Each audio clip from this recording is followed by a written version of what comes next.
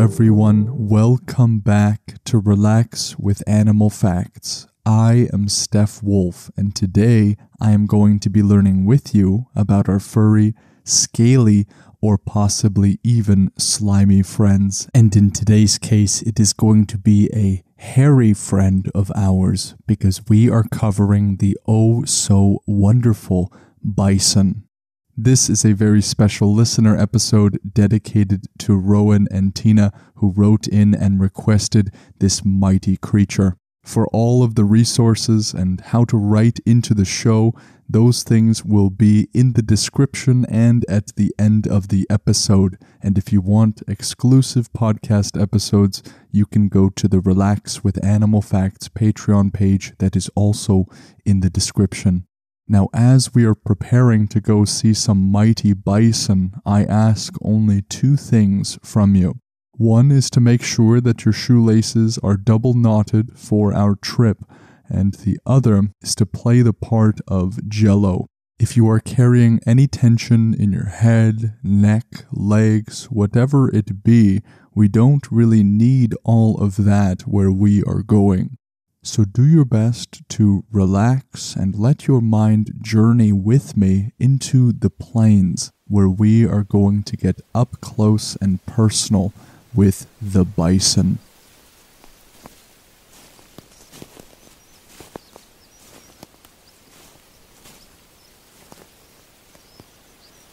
So, as we are walking and stepping over the tawny, blondish grass, the first thing that you may notice about this creature is that they are big.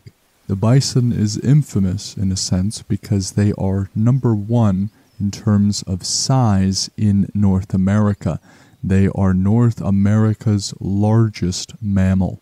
And though we use the word buffalo interchangeably with bison, it is important to know that they are distinct from one another.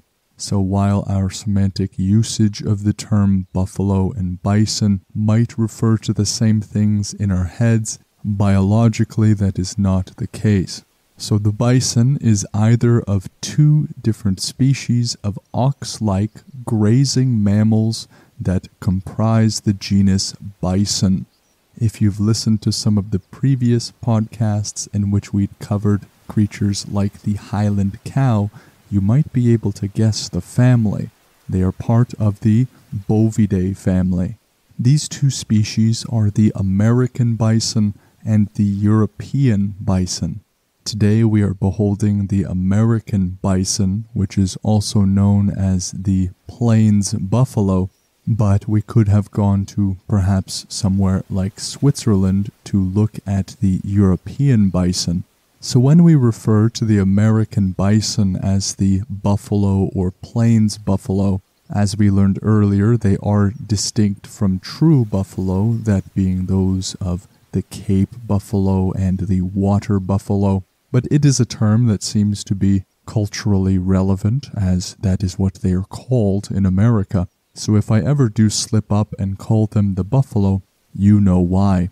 The American bison specifically which has the scientific name bison bison, is going to be different from domestic cattle or oxen in a few different ways. It has a very large and heavy head. They have this large hump at their shoulders that is quite pronounced, heavy forequarters, and they will sport 14 ribs instead of the 13 that are found in cattle and the oh so wise American bison will oftentimes form a beard through those long hairs on their neck, head, and shoulders. This is what gives them that long beard like figure. There have been cases in which a white bison is born, though they are exceptionally rare. Both male and female bisons have horns, and so you cannot tell them apart just by whether they have horns or not. In both cases, the horns are short and curved upwards, but the female will often have a smaller pair of horns. While these horns do not necessarily betray male or female, they do tell something about age. The horns will begin to come out around two years old, And then they go into a stage known as spike horn. This is where the horns will develop this angle, specifically about 45 degrees, and this will last until they are about four years old. While they initially start with that very dark black color, they will turn gray over time as they age. Now, if you are a real good detective, you might be able to tell whether some of the bison in this herd are older than others by how blunt and short the tips of their horns are. After about the age of eight, those spikes will start to wear down and become more blunted and even continuously shorten. Now let us get back to their sheer size for a moment. They look as though they shake the very earth upon which they tread, and they do not bear the title of North America's largest mammal for no reason. A typical bull is between 11 and 12 and a half feet long. That is about 335 to 381 centimeters. The cows, which are the female version of the bison, are going to be slightly smaller, being about seven and a half to ten and a half feet long. That's about 228 to 320 centimeters. They will often be standing at just about 6 feet tall at the shoulder, again 183 centimeters for my UK listeners. So these creatures are quite stocky and compact. The larger of the subspecies of bison will weigh more than 2,000 pounds, which is just over 900 kilos. So we can see how they got this gold medal of being the largest mammal in North America. But just because they are large doesn't mean they are, by any stretch of the imagination, slow or clumsy. They can run up to 40 miles per hour, about 64 kilometers per hour. They can jump up to 6 feet vertically and very quickly pivot to combat predators. This is an agile creature. A 6 feet vertical jump is impressive enough, but when you are lifting 2,000 pounds off of the ground, that is a monumental feat. With quick and sharp turns, this absolute behemoth makes a formidable piece of prey for any sort of wild animal attempting to make a meal out of them. One unique thing about the bison is that it does not burn extra calories in order to stay warm during those below zero temperatures. Those temperatures that are so indicative of Canadian weather and as a Canadian, I do not mean to brag, but the bison is Manitoba's official mammal. But moving on, the reason they can stay so warm is, of course, because of their abundantly thick coats. It provides them with really solid insulation from the harsh winter weather that is comprised of both a thick hide and two layers of hair. I think it might be helpful to actually define that word hide. We hear so many times that animals have thick hides, but what does that really mean? It is quite simply a more fancy way of referring to skin. It was imported from a German word which also means skin. So when we say that they protect themselves and are insulated by two layers of hair and a thick hide, it means two layers of hair and thick skin. The coarse outer layer of hair will serve as protection from the cold and also from moisture, while that inner layer of hair will consist of very fine fibers. This will create a unique sort of insulation that traps air and warmth. They have a seriously awesome natural jacket.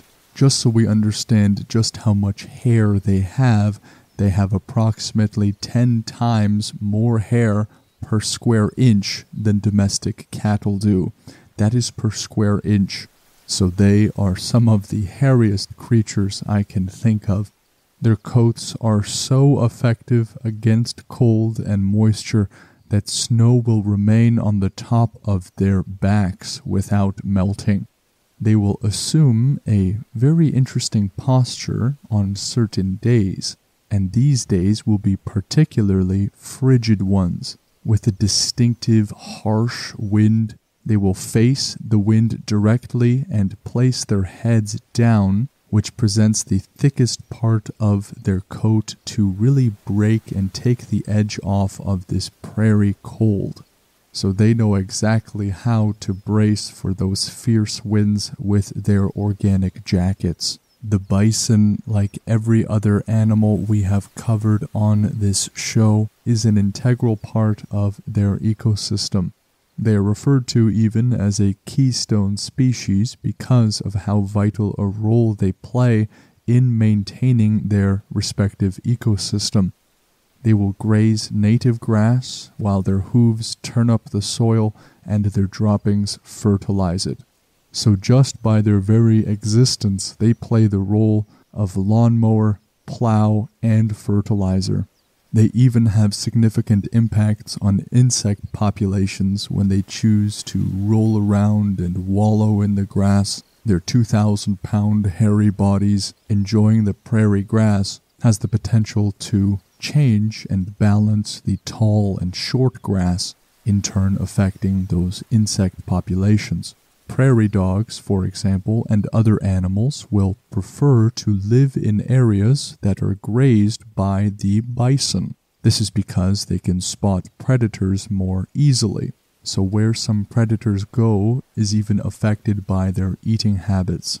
One endangered species of butterfly is now becoming more abundant because of the reintroduction of bison into their range. Their grazing habits and all that they do has created conditions that are more favorable for the plants these butterflies need as food. And so, big props to the bison. They play such an integral part, and all they are doing is ingesting grass and rolling around on the ground but in so doing play so many roles at once. So, as we are looking at some of these bisons grazing and rolling around, we can judge their mood by their tail. Right now, all of the bisons have their tails hanging down and swaying naturally, and that means that the bison is calm. But if we were to see that tail suddenly stand straight up, this is a sign that the bison is ready to charge, but while these may be telltale signs of their mood, at least usually, we have to understand that the bison is a creature that can act unpredictably, at least to us. Because of their fierce speed and their size, things can change on a dime, and with a creature that is 2,000 pounds, 11 feet long, that is something that is better left unexperienced, or rather unfamiliar. It is great for nature documentaries and photographers, but not for people if they are too close. So while today we are getting close and personal, in the outside world, if you were to do some sort of trip to see these guys, they are best adored at a distance. So you may have noticed that the entire time while we have been looking at some of these bison, they have been eating. And if we were to continuously watch them for another eight hours, they would likely still be doing the same thing. They will typically forage for about 9 to 11 hours every day, eating grasses, weeds, and other sorts of leafy plants. This is the part in which we ought to be grateful. A creature like this, if it were carnivorous, would be absolutely terrifying. But what is great for us is that they only want salad. And as one is eating and another is wallowing, as they call it, or rolling around in the ground, the reason they roll in the dirt like that is to stop biting flies and even help to shed some fur. Some male bison will also choose to roll around to leave their scent during mating season or to display their strength. I believe that this article left out the fact that it might simply be fun. It certainly looks like fun to me, but maybe that says more about me than it does the bison. In terms of their senses, they do not have the best vision. They have pretty poor eyesight, but they do have very good senses of smell and of hearing to make up for it.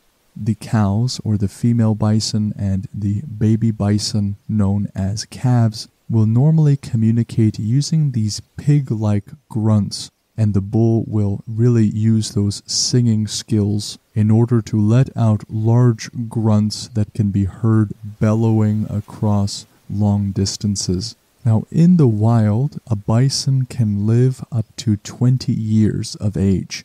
The average lifespan, though, is about 10 to 20. Within that 20 year lifespan, female bison will normally become reproductively successful at the age of 2 and only have one baby at a time.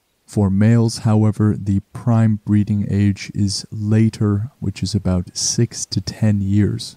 So the reproductive age of males is about 3 to 5 times higher than the females. I'm not sure if that says something of the maturity of the female and the male bulls, or if it has something only to do with reproductive capacity. In humans, for example, women are said to be fully developed or to have their brains fully developed around the age of 22. And with men, I believe we are somewhere in the range of 37. But all joking aside, the males and females will have some pretty different ages when they mate. You may have heard the term red dog before, and this term is one that is used maybe endearingly in talking about the baby bison. Bison calves tend to be born from around late March until May and are orange or reddish in color. This earned them the nickname Red Dogs. But in a few months, the red dog becomes more of a brown dog, which does not have so much of a ring to it. They will slowly become dark brown, and this characteristic shoulder hump and the horns will begin to grow. And that characteristic hump is not just superfluous, it does have a function. That hump is composed of solid muscle and supported by long vertebrae. What it allows this creature to do is to plow its head through snow if need be. So it is not just a style choice, though it looks great, but they use it as a shovel to get to that sweet grass underneath. Fossils and accounts from early travelers shows that Yellowstone National Park is the only place in the United States where bison have lived continuously for a very long time. And in fact, the herd in Yellowstone is one of the few that remains completely genetically free from cattle genes, which means that they were free from interbreeding with other cattle species. Yellowstone sounds like a wonderful place, and I hope to visit it one day. There are about 30,000 bison that are managed for conservation in private and public herds, but most of the 500,000 or so bison nationwide are raised instead as livestock on ranches, and so their population is indeed decently sized certainly better than what it was after masses of hunting. So they do have a fairly large population. So in North America, there are a great number of bison, which is something that is great. And for our final fact of the episode, we are going to talk about the name bison. What does it mean and where does it come from? The word bison was really coined in the 1600s and means European wild ox. It comes from the French word bison, or I suppose in French it would be bison, and that comes from the Latin word for wild ox. Now, this goes through a ton of different transformations, ending at an Old English or Middle English word but is not widely attested to after this, and so etymologists, not to be mixed up with entomologists, which study insects, but etymologists postulate that it may be of some kind of Baltic or Slavic origin. and meant the stinking animal in reference to its scent while rutting. As we have seen many other times on the show, sometimes the derivations of words are not as neat and tidy as we would like, and apparently not as neat and tidy as they believed the bison to be according to this etymology. And now let us move on to the review portion of the episode. This review was written by Alice OMG 1111, that's four ones, who wrote all the way from the United States of America. And Alice writes, It is so calming and it helps me go to sleep so fast. But do you think you could move on to the facts already and stop saying so much other stuff in the beginning? The last episode I listened to, there were eight minutes of only blabbering about other stuff. But otherwise, the podcast is really good, so you get five stars. And could you do an episode on axolotls? By the way, I'm 11 and from the US. Thanks, Alice. Thank you, Alice, for the review and for the kind words and for the very important feedback. I'm so happy that the show is calming for you and helps you get to sleep. In response to your review and to many others that I have seen up to this point, I have tried this episode to really move everything to the end if I can. I hope that today's episode can be the standard for the show, if of course everybody enjoys it. I am always trying to make the podcast better I don't mind moving everything else to the end, and if Alice or anyone else listening prefers this way, please reach out, let me know, comment on some kind of Instagram post or something. But in regards to the eight minutes of blabbering about other stuff, that is how a lot of the early episodes are. I had no idea what people enjoyed, and I didn't run any ads or anything. So I just thought that I was doing what you guys like, but as I found out soon, it was not the way to go. And so some of those older episodes definitely have longer intros, and I wish I could somehow go back and edit them out, but that would simply take forever. But from going forward, I am dedicated to making the show more enjoyable for each of you because this show is for you and your feedback means the world. If you want to leave a review like Alice did, you can even leave your animal request in the review from what I have seen many times. They help the show grow and they help it get better. If you want your very own podcast episode, you can send in your request by sending a message to Relax with Animal Facts on Instagram by going to relaxwithanimalfacts.com and clicking on the Animal Request tab, or you could always send an email directly to relaxwithanimalfacts at gmail.com. You can write whatever you'd like and ensure you leave an animal request, and I try to respond to each and every one of you. Again, there is a Patreon page where we have exclusive mythical and extinct animals that we cover. So if you want access to those exclusive episodes, you can go to the Patreon link in the description or just search up patreon.com slash relax with animal facts. What an amazing creature we covered today. The largest mammal in North America, quite the hairy and hefty behemoth. I hope that you have all enjoyed this journey with me into the plains of North America and I hope you will join me on the next podcast episode with the next animal. Take care.